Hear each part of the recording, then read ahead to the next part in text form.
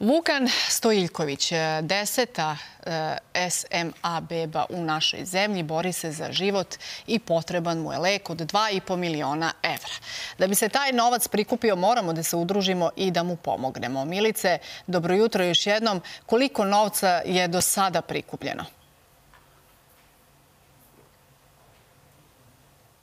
Dobro jutro, Marijano, još jednom tebi i svim našim gledalcima. Za sada je prikupljeno milion evra. Naravno, preostaje još ova svota od milion i po evra da bi Vukan otišao na lečenje i da bi nam se vratio zdravu Srbiju. A kakvo je njegovo trenutno stanje i koliko Vukan ima kilograma, s obzirom to da se taj najskuplji lek mora primiti dok dete ne bude imalo 12 kilograma, tačnije tad bi bilo najbolje. Reći nam Vukanova mama Ivana. Dobro jutro i pre svega hvala vam što ste nas primili ovako rano i što ste izdvojili vreme za jutro na prvoj. Da krenemo onda od toga kakvo je Vukanovo trenutno stanje.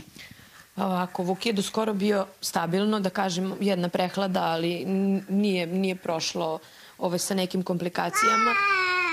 Ali od pre dve nedelje primećujem kako mu je baš teško dok jede, zamara ga u, u isto vreme polusedeći položaj uh, i, do, i dok mora da guta hranu, to je za njega naporno jer prosto nema snagu, počeo je mnogo da se znoji.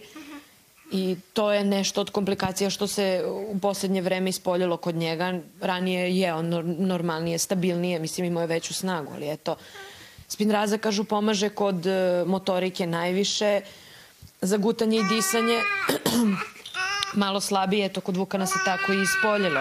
Međutim, da nije spinraza, on ne bi bio ni u ovom stanju kakvom jeste sada. To je inače terapija koja je jedina dostupna u Srbiji. Vukan sada ima 7 kg i 400 grama, uh, da kažemo 7,5, to je bilo merenje od pre nekoliko dana.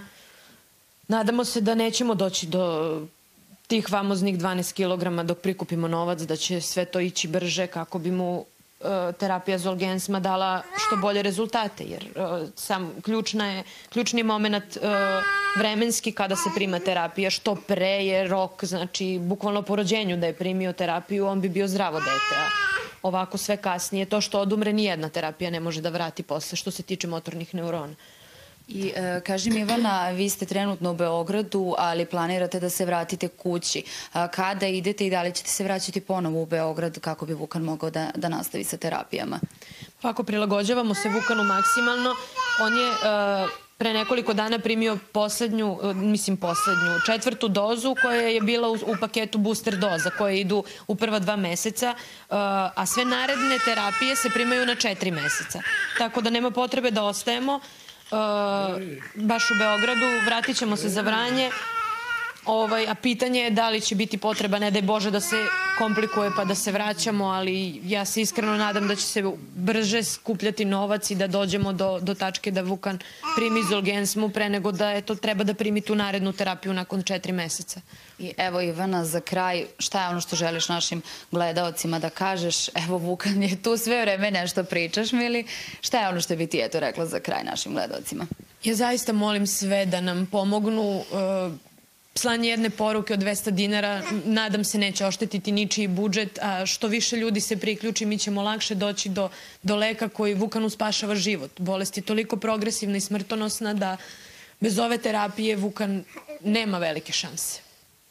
Ivana, hvala ti mnogo još jednom što ste izdvojili vreme i što ste nas i ovog puta nasmejani dočekali. A eto, Marijana, čula si ti, ali naravno i svi naši gledalci, 12, 39 na 30, 30, kako bismo Vukanu omogućili da ode po svoj lek i da nam se vrati naravno u Srbiju zdravi nasmejan kao što će to uraditi i njegovi drugari koji su već sada uveliko na lečenju.